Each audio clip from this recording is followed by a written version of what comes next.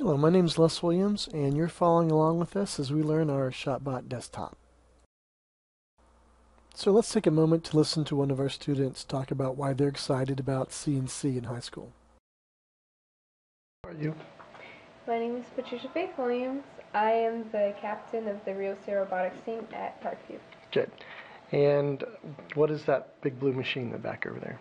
That is our very brand new CNC machine. Good. And, and what will that help us do?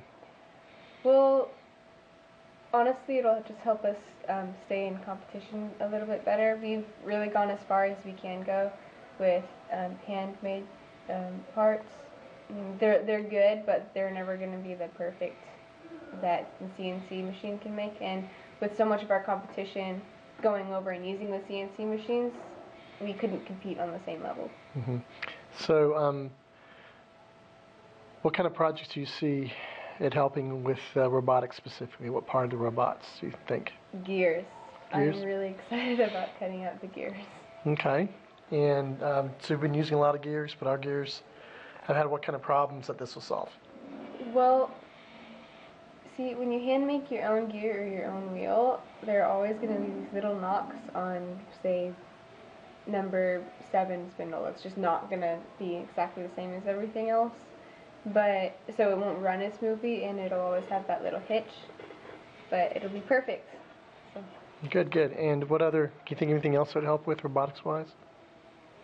um, it can cut out the rest of our body if we need it to. It, um, with that, um, like the claw, it can cut out the rest of that if we need it to. Right, so the different um, articulations like uh, the arm and the, the small bits needed to move the hand claw or whatever. Yeah, with the CNC machine, we can make every part that we need to with a lot more precision than we would have been able to by hand. Hmm. Have you used a lot of software in the past to, to do this?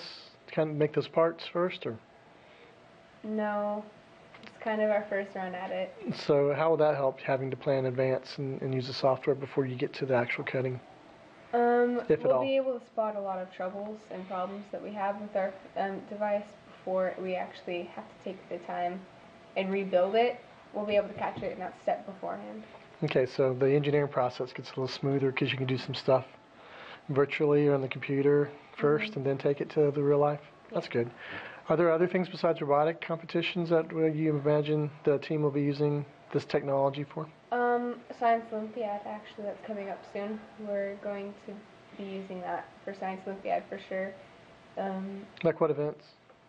The what kind of builded events do you think? what about time, for example? It's you have to build your own clock. Mm-hmm. That'll Okay. be fun. Yeah. So, and others? You think of anything else? No. Maybe. okay. Not off the top of my head, but I know there are more. Okay, all right, good. All right, anything else you want to add about? Uh, so when you look at them, why why are you excited about machines like that? Other than the fact you get to, have you ever used one before? No, I'm No, no. really excited to play with it and learn about it. Now you've had the opportunity to visit some of our real life business partners out in the community, um, like Laser Tool Code, some of those guys. So you've seen machines like them before. What was that like? It was really cool. Know, were they like? Was it like ours, the little desktop, or? No, I, they covered most of the room actually. hmm So, but it's, is it the? It's similar technology. It, yes, similar technology, just this is on a much smaller scale. hmm Now, when you talk to those guys, do they tell you anything about the need for people who know how to do this kind of thing, or is there a lot of them, or a few of them, or? Oh yeah, there's a lot of need for that because people um, just are stop.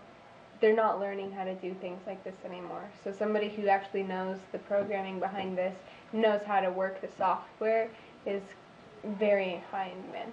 Okay, so you're getting to, to use the software and the technology. Does that make you More attractive to them, or- employable in Really? any business like that. good, good, good? And that's what they told you? Yes. okay, good. Alrighty, um, anything else you want CNC machine rocks. okay, thank you.